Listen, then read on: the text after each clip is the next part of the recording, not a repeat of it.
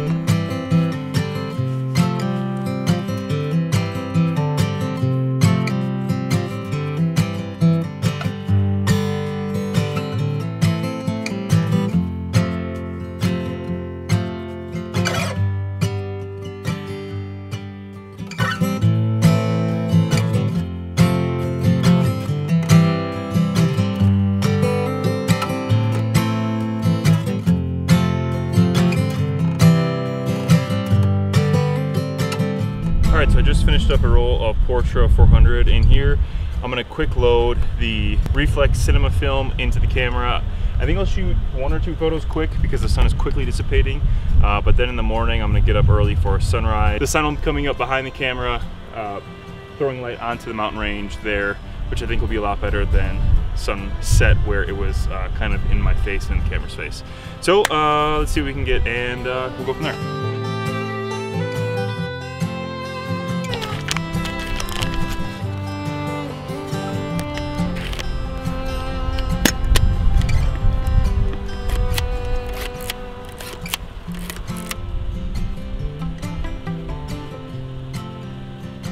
So I only ended up shooting one shot just because of how quickly the sun was setting and I wanted to make sure I had enough exposures for a variety of different ones. I pretty much called it a night, made some Cheeto mac and cheese, which by the way, if you're ever considering picking some of this up, just don't. It's awful. And then just called it a night. That night was honestly freezing cold, especially since I don't have a diesel heater in the 4Runner, but waking up to the cotton candy backdrop of these Sedona Red Rock Mountains was tough to complain about.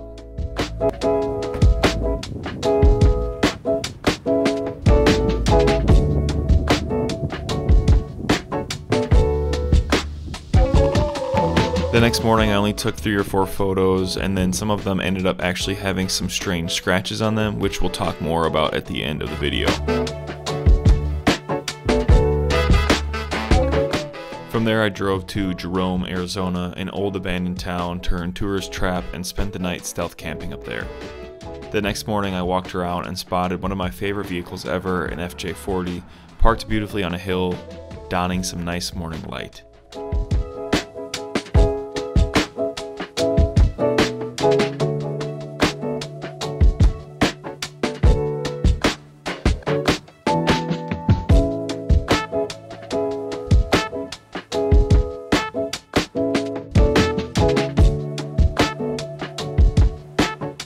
After that, I headed back to Sedona to finish the roll when I came across the only blue arched McDonald's in the world, which is pretty cool.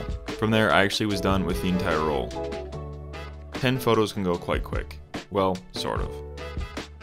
There were some other images that I took that had these large scratching marks, which Chris, who had developed and scanned the film, had attributed this to being one of Reflx Labs' first 500T test rolls. Once I saw how clean his scans were too, I'm now pretty confident that's what happened, unless I somehow had scratched or bent the film when I had first gotten it or once I'd finished shooting it. Honestly, I'm not too sure. Overall, my thoughts on the film are really great outside the obvious test roll stuff. The first couple shots up at the top of Schnebly Hill Vista in Sedona were some incredibly tough dynamic shots.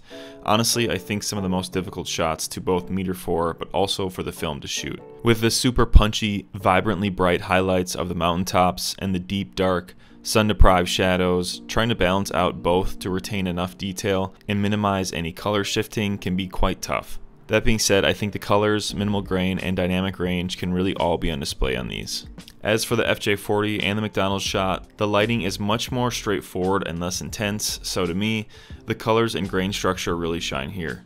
To me, in these images, you can really see some of the similarities to Kodak's other professional color negative film, and I'm just genuinely impressed as a whole. They're also super sharp, which I know can be attributed to Mamiya and the Mamiya glass, but there is something to be said about the film stock as well.